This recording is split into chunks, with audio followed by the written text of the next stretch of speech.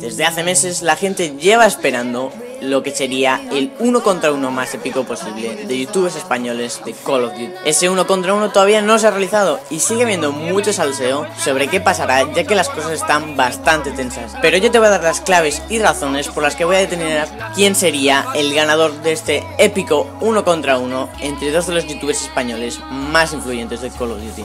Quiero que quede claro que más que nada me voy a centrar en quién es mejor, ya que un uno contra uno determina mucho y depende de demasiadas cosas, por lo que voy a ser lo más objetivo posible y solo te pido una cosa, quédate hasta el final del vídeo para entenderlo todo. Así que, sin más dilación, comencemos.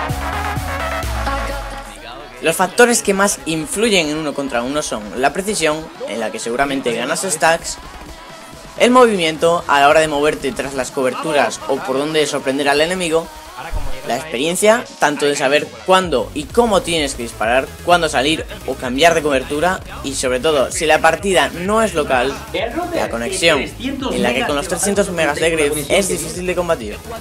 Desde que Gref mostró sus increíbles estadísticas en más de un vídeo, mucha gente había visto en los marcadores del juego que estas eran mejores que las de Stacks, teniendo Gref más puntos por minuto y quizás más proporción que él como se veía en el vídeo. Las estadísticas de Gref eran muy buenas, hay que reconocerlo, pero cualquier persona que entienda de Call of Duty o que ya sea veterano del juego sabrá que estas estadísticas no lo son todo. Influyen muchísimo por supuesto, pero a la hora de enfrentar a dos personas uno contra uno no tienen tanta importancia. Y por supuesto, recordemos que estas estadísticas son obtenidas de partidas públicas. Cuando finalizó Advanced Warfare, Gref reconoció que había mejorado muchísimo en este precisión y sin duda en sus gameplays finales mostraba mucha más facilidad que la que tenía al empezar el juego. Pero recordemos de nuevo que esto era en partidas públicas.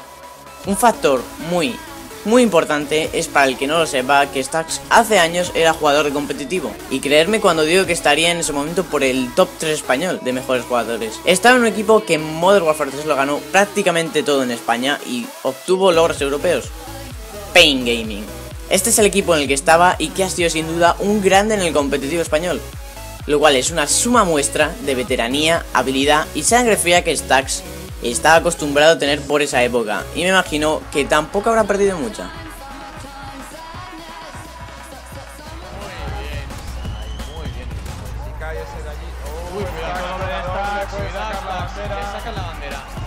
Oh. Saca la bandera cuando quedan tiene 30 solo. segundos. Cuando quedan 30 segundos, Muy justo esto. la tiene Stax. Qué pena. También. Bandera para Payne. Quedan 20 segundos. 2 a 0 para Payne.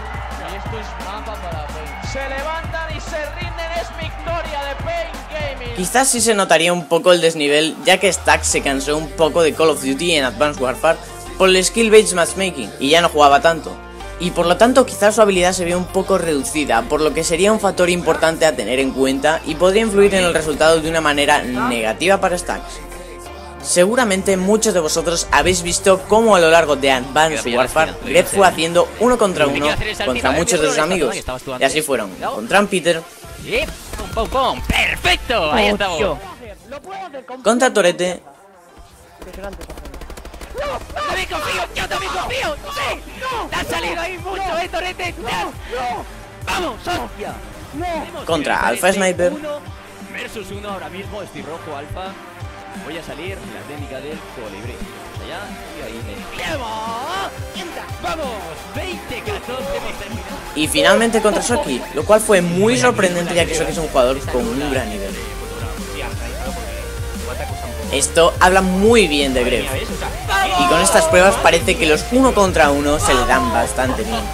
Pero si hay algo que resaltar de esta serie, es que de todos esos uno contra uno, solo hubo uno que no ganó. A Meto. Un jugador de competitivo que me atrevería a decir que es el top 3 mejores jugadores de España actualmente. Esto es una muestra de la que quizás Gref podría perder el reto al ver que perdió con alguien de mucho nivel.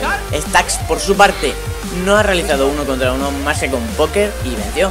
Pero según él, fue un vídeo en bromas entre amigos y sí es verdad que póker no juega prácticamente a multijugador. Así que no tenemos muchos datos actuales de cómo reaccionaría Stax a este reto excepto sus vídeos, en los que sigue mostrando una gran. ¡Nuclear en duelo por equipos!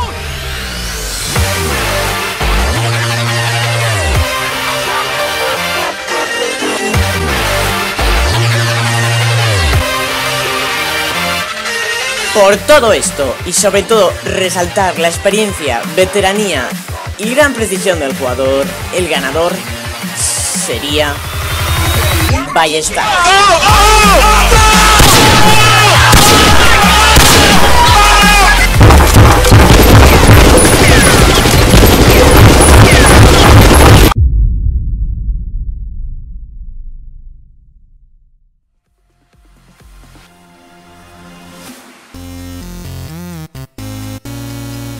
Como he dicho, esto es objetivo y no he tenido en cuenta mi opinión personal que tendréis a continuación.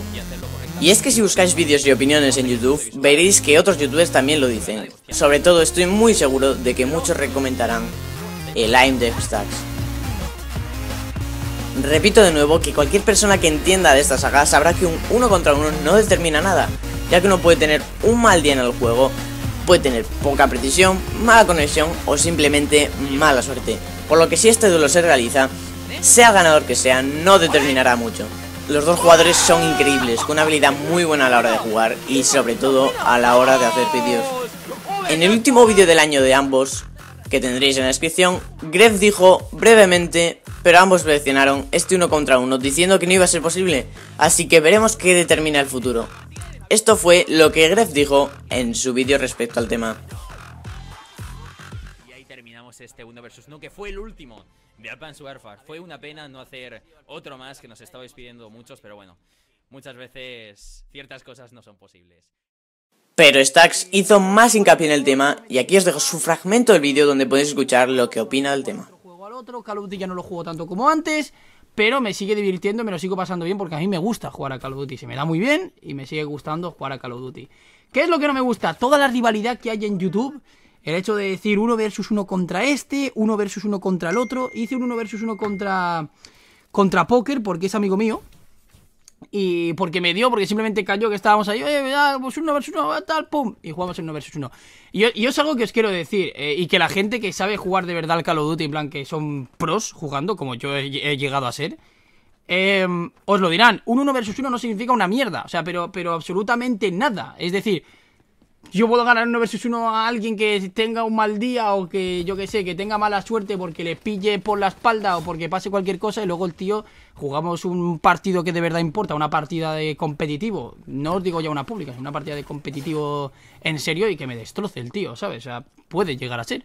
No soy el mejor del mundo, ni mucho menos ahora mismo, pero los uno versus uno no significan una mierda, ya os lo digo yo, porque veo a mucha gente muy pesada y si algún día juego otro uno versus uno será de coña y con algún amigo mío como fui con póker. Si alguien no es amigo mío, ni se merece serlo, ¿vale? Yo personas que van a lo que van y que, pues yo que sé, se creen más que el mundo, no van conmigo. Lo siento mucho, pero yo eh, soy una persona que intento no llevarme mal con nadie, pero la gente que me intenta tocar los cojones, que se olvide de mí. O sea, es así, es así de simple. Yo lo hago con mis amigos, yo con mis amigos estoy muy bien, yo no me, no me quiero llevar mal con absolutamente nadie. Pero hay gente que simplemente, pues, que parece que, yo qué sé, que lo hacen aposta y que son, son, yo qué sé, gente que son chulos, que tal, que no sé qué. Y yo simplemente paso. O sea, paso totalmente. Así que, dejando zanjado Estas fueron las palabras que dijo Stacks, dejándolo bastante zanjado. Por supuesto, no quiero dejar malos rollos ni que os decepcionéis, y además por el resultado, es objetivo y no tiene por qué ser así. Puede ser que Stacks tenga un mal line ese día o algo así y que gane Gref. El resultado no tiene por qué ser este, sino que como he dicho antes, he determinado quién es mejor, entre comillas. Da igual porque los dos son muy, muy buenos jugadores y sobre todo grandes youtubers. Personalmente me encanta la forma que tiene de hacer los videogrefs, es muy original, tiene mucho, mucho nivel como jugador y creo que junto a otros como Soki, Alpha e incluso Rubiño han ayudado más a la comunidad de COD que desde tiempo estaba liderada, por llamarla de alguna forma, por Stacks, después de que otros canales dejasen de subir COD, y el único grande que lo subía era él. He sido lo más objetivo posible, como he dicho, y he incluido los factores que de verdad influirían en este uno contra uno, que espero que finalmente se dejen los malos rollos, aunque sean justificados aparte, y finalmente se haga al igual que muchos. Pero si al final se hace, estoy muy seguro de que Stacks sería el ganador. Así que espero que os haya gustado el vídeo, comentadme qué opináis del tema en los comentarios y os agradecería que compartís el vídeo con vuestros amigos. Así que nada más por mi parte, un saludo y hasta la próxima.